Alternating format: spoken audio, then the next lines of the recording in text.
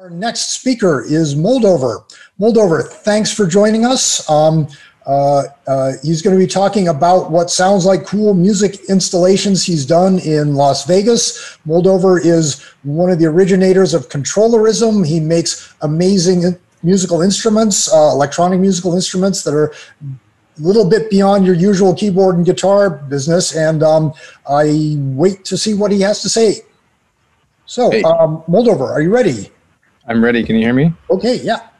Great. Great. Thank you, Jon. Thanks, Karen and James, also for hosting.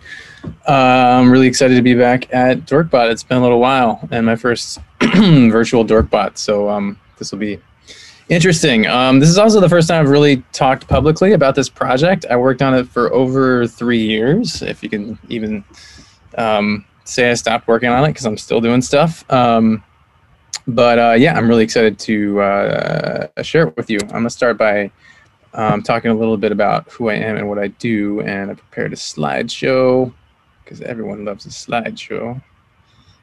And does that look good?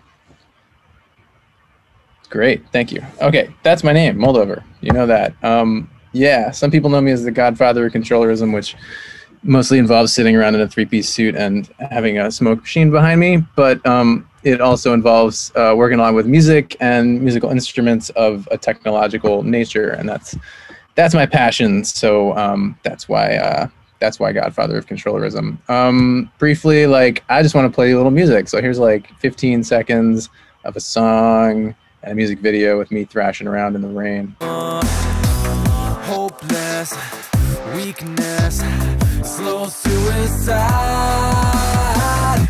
Shut me down Shut me out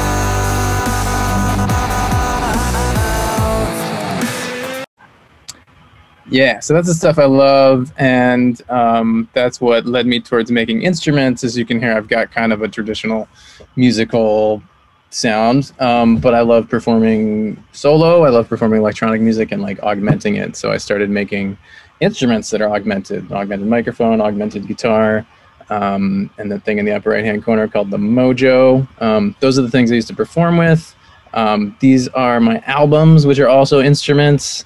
That one on the left is a light theremin in a cd case and the one on the right is called a voice crusher um, these are instruments I build for other instrument, uh, other artists. This is one of my um, my primary gigs is like designing and building stuff either for companies or artists or um, sometimes organizations like Meow Wolf. So those are some of the artists and instruments that I have um, built for others.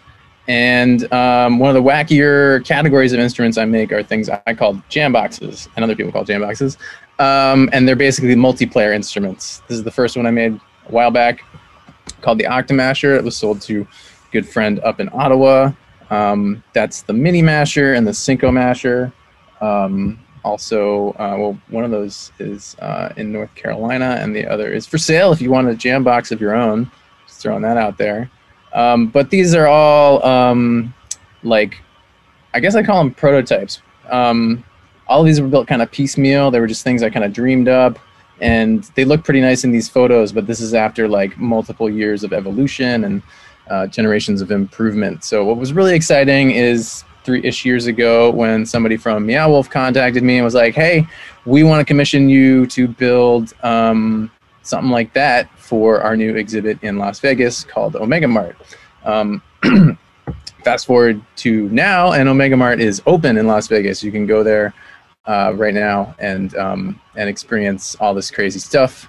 Um, here are some photos of what it looks like. It's like a supermarket with all kinds of whimsical products, and you can open all kinds of portals in this uh, supermarket and go into a factory and an office space, which doesn't sound really exciting, but they're full of room after room after room of bespoke, uh, incredible immersive narrative artworks, and it's um, it's just uh, an amazing art experience. So it's it's like one of the greatest um, experiences in my life to be involved um, with this crew and with this uh, exhibit. This is the second thing they've done. There's there's one in Santa Fe already, and there's a third one actually opening in Denver later this year. So um, Meow Wolf is is very exciting to me. this is the thing I made. It's called the Music Mill. So this is a Jambox um, as opposed to being built piecemeal, um, totally designed all at once um, with a venue and an audience and a theme. It, it, kind of fits into the, the factory space in this narrative um, as well. So it was just a really awesome experience to have this you know this this sort of big budget um, and also big team to work with to bring this thing uh, to life. So I think I have a video. Yeah, this is a video from before it was open. So this is some of the Meow Wolf uh, like team leads actually like trying it out and um, playing it for the first time um, before the exhibit is open and just at the end of my uh, phase of like setting it up in Las Vegas.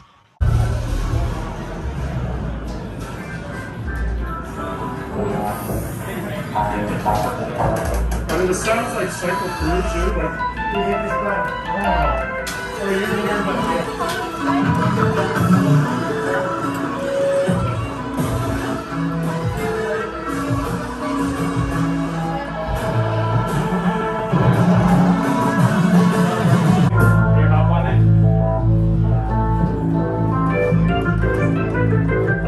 I'm going to forge ahead. I've never done this talk before, of course, and I have a lot I want to share. So I might cut off um, a couple videos. But I think I think it's really fun to show. This is like the initial sketch of the thing, like borrowing some ideas from older jam boxes, trying to adapt it to the factory that um, that I imagined it being placed in.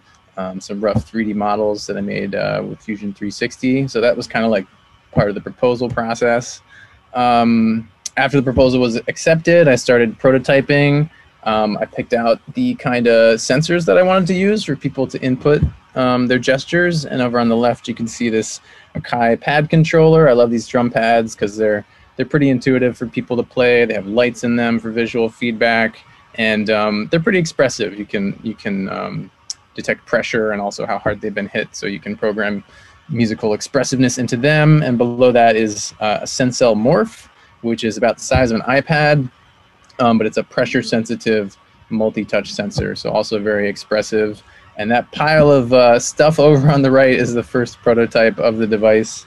Um, that was another exciting thing was to to actually go through like play testing and prototyping and like make the thing before I made the thing and try out some wacky concepts. Like you can see, there's lots of uh, construction paper and blue painter's tape involved in some some testing that's happening there.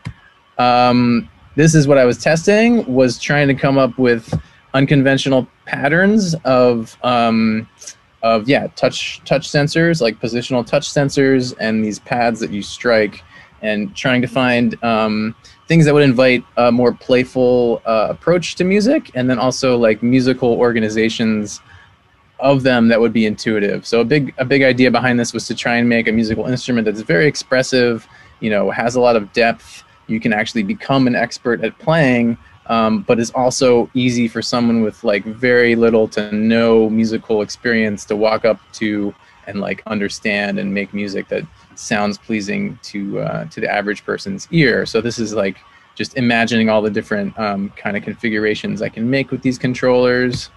Um, this is actually connecting it to musical uh, musical scales did a lot of testing to figure out like, oh, what is what do people play when you put a staircase of notes in front of them? What do people play when you put a symmetrical shape in front of them? And trying to connect that to musical concepts um, employed on different instruments. Um, for example, in the center there, you see the melody instrument, and I used a note arrangement you find on uh, kalimbas and koras, um, these like symmetrical instruments that have um, um, scales when you play a left and a right uh, mirror image um, pattern. So, anyways, trying to connect sensors to musicality is, is kind of one of my big things. Um, I got involved to a certain degree in kind of the uh, the the space around it. Um, in the beginning, I was kind of invited like to do like a room, right? Like, hey, you can have a room. That's what most artists in there are doing. There's a lot more um, visual art and kind of immersive art. Um, and after a little bit of thought and work, I decided like I really just wanted to focus on the instrument. I think of myself as very much an instrument maker, and this of course appears to people as like an installation or art, art installation or, or what have you, um, which it totally fits that mold. But um, I didn't want to design the environment, so I invited uh, Meow Wolf to kind of like throw stuff at me, and that's how we got kind of the size and general shape of the room. And then I got my friend Liza Bender involved, who did an environment for for a music video like the one you saw earlier uh, for me. And so she decided uh, she started designing an environment and wound up making those um, hexagonal infinity mirrors that hang on the walls. Um, hexagons just turned out to be really useful. Actually, it was all based on I just wanted to make a three-sided instrument because that's like really easy for people to grok. Is like hearing two other people um, to play with. You get four, it, it, gets to be a little bit much, and like two people is a little bit limiting. Um, but that three grew to be like hexagonal, and it turns out there's there's a lot of synergy with the hexagon. Um, so those are Liza's mirrors, uh, infinity tunnels. I'm sorry. Um, and I worked with my friend Turner Kirk. He had already designed a MIDI controlled uh, lighting driver um, to do some LEDs for mostly for like live stage shows um, for performing uh, bands. And so he revised it and adapted it and actually wound up doing a lot of engineering to like bump up the specs to this very rigid um, specification that uh, Nevada and the city of Las Vegas require, I guess. Um, so he had to re-engineer the whole thing um, for a lot of specific needs, and he did great work. I think I have a little video. Mold Moldover's MIDI light controller design by Turner Kirk Revision One, which does control of LEDs in many many ways. Oh, you know, could do more fun things. So we can do this. We can do colors. We can do. So LED uh, drivers aren't that exciting, but having it MIDI controlled is really useful because of some of the software and the working methods that I use, which you'll see later on, um, that are all musical. And MIDI is the musical instrument digital interface, um, which makes it really convenient for um, the, the tools that I work with. Uh, this is the evolution of the physical um, device, the console, as we call it, um, from triangular to hexagonal, and and from sketches of what the interfaces would like look like to like really specific interfaces on the bottom there. Um, this is where I got super geeky. Was designing the enclosures for these little sub panels, right? So I took each of these. Um, you can see there's there's combinations of sensor panels up there, and I developed this like pretty detailed uh, enclosure, mostly with um, the interest of making the thing uh, really durable, like really durable. We're talking about like a thousand people are going to play this thing every day for like 10 years. So it's a lot of like steel. I mean, it's all built out of steel and aluminum and polycarbonate, like really tough materials. But even the sensors, you know, you really want to try and like make sure that they're easy to um, uh, repair and replace and also as durable as they can be in the first place. So they'll, they'll just last as long as they can. So I made these um, complicated sandwiches for the sensors and things to protect the sensors and then the masks you know to to make more interesting shapes. I got into like oh you know let's give people triangles. How do people react with triangles? They do interesting things with triangles. Because you never have a triangular touch screen but believe me you should. One day. Someday. Triangular phones maybe. Anyway um, uh, yeah, all the CAD get, gets translated into 2D things, cut out by uh, CNC machines mostly, um, but then all assembled by hand. So this is putting together these little assemblies to make these unique um, sensor panels. These were like really intricate because I wanted to add lights to these. There, there aren't really, uh, there weren't useful lights in these morph touch sensors, so I built these channelized uh, polycarbonate things that had to be painted to block the light from one to the next. Um, so these are really complicated, but in the end, I wound up with these, you know, these cool shapes like hexagons and triangles that are touch pressure sensitive, multi-touch sensors, and they also have addressable lighting like around their borders um, for some really cool uh, lighting feedback.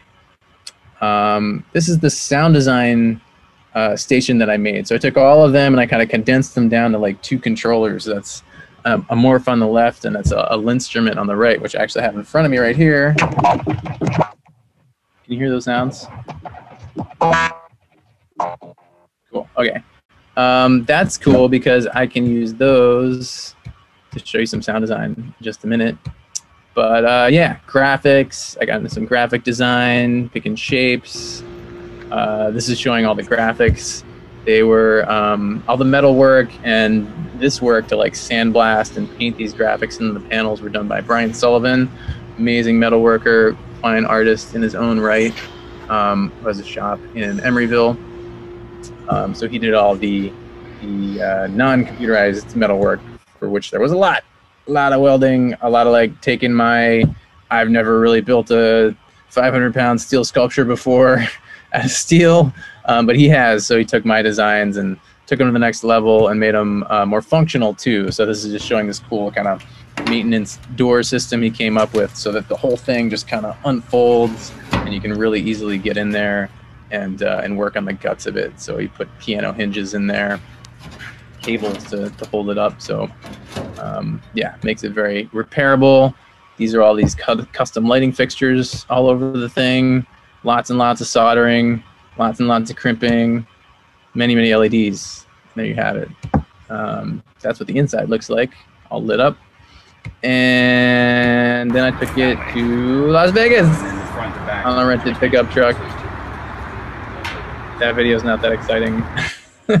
so we'll skip ahead to the software really briefly. So um, I can actually get on this slideshow and show you because I have this unique feature of like running all this stuff. So this is Max, where I built this interface that takes in all the sensor data.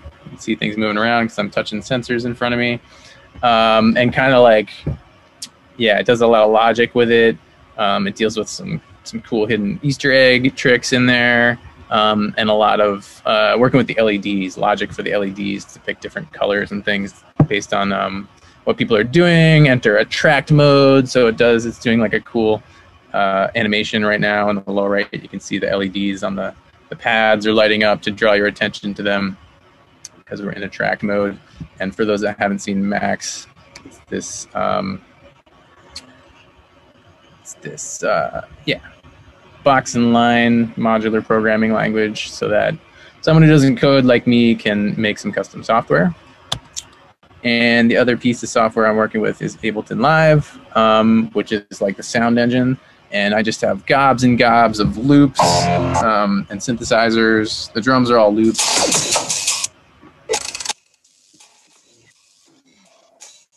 Um, there's about 16 loops times four different presets. So there's like a hundred different really carefully designed uh, drum loops that are all kind of pre-mixed, and um, and yeah, and I I don't know what else to say about that, but I'm I'm running out of time, so I would like to take a few questions. I'll just show you two seconds of a video because I finally got some really good video. Regular people playing.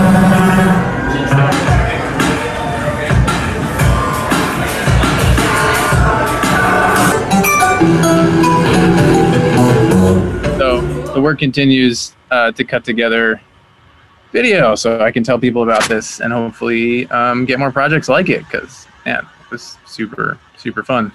So that's me. That's Adam reach me. And then by my calculations, I got a couple minutes. Can I take a question? Are there any questions? Oh, that was super cool. So actually, I have a question. Uh, if people uh, have questions, um, put them in the chat. Um, I have a couple questions that look really cool. So are you using just the, the, the Akai sensors and you put your own lights and things around them and you put them in your own, own configuration? Uh, the Akais have lights in them, which is part of why I uh, I chose them. Um, uh, but the, the custom lights had to happen for the, the morphs because the morphs, I have one here. Um, it's got a few lights here, but I wanted lights like around each of those shapes so that, especially those, like I just want lights right by your fingers when you touch a thing. It's just easier for people to understand.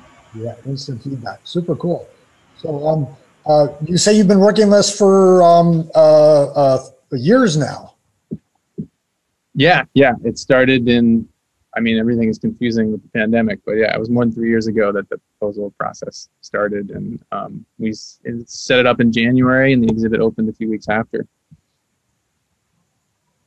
Fantastic, fantastic. Um, Sherry Huss saying in the chat that she uh, she'd love to get you involved in the Maker Music Festival next year. That looked like oh yeah, absolutely. There's amazing stuff on that. I was not aware of the Maker Music Festival until this year, but I saw so many cool things. I need to go back and, and review. I think they're still are uh, still up there, aren't they? Yeah, and uh, a question from um, from uh, Dante. Uh, so there's a Max patch running on a computer inside the instrument that does the sound processing. That was the question. Great question. Yeah, Max handles all the data. So like all the sensors coming in and controlling all the lights. And Ableton handles all of the audio, so playing samples, um, virtual synthesizers, lots and lots of effects that people can control in real time. So it's kind of like those two softwares doing what I think they're best at. Great. And uh, one more question. How do you feel about the results? Uh, how do you feel about the music that others make with your device? Uh, I think it's it's good. I didn't actually get to spend a lot of time observing people playing it, which I feel like is actually a really important part of the process. Um, I used to think like, oh, I made the thing for people to play. I just walk away and my my my work is done. But like to really improve as an instrument maker and and also to feel like a connection with with the work that I I make and the people that it influences, like I need to watch people play it. So I've only done like a very little little bit of that, and um, I really hope I get to do more, um, hopefully in person. So maybe going back to Vegas um, in the near future. Hope. Awesome! Great, great, great. Thanks. Super cool. I want to play with this thing. Um, one one final question. Did I see in your in your um, Max patch that you have some cheat codes, and could you share one or two with us? yeah. So I love I love the idea that there's a little hidden thing, and that's a big part of the Meow Wolf kind of ethos is having you know multi multiple layers to the art and having like yeah stuff like that. So there's there's information in the panels uh, the panel graphics i showed you. Some of it's just like eye candy and like the ridiculous names um, for each side of the instrument but there's also information there that is a cheat code and if you can coordinate that that was actually an idea i think inspired by Rich DDT he's done many um, uh, pieces not so much like this but pieces that require multiple people to kind of coordinate you know, very much like a, a Burning Man uh, collaborative art thing, but it requires everybody around the instrument to kind of like do the cheat. Uh, I want to call it cheat code. It's not really cheating. It's the, it's the Easter egg. But if everybody does the right thing all at the same time, you all hear this crazy cool sound, and it unlocks um, a very special uh, feature of the music mill. So I hope you get to get to find that if you get out to Vegas to play it. All right, that's awesome. Thank you.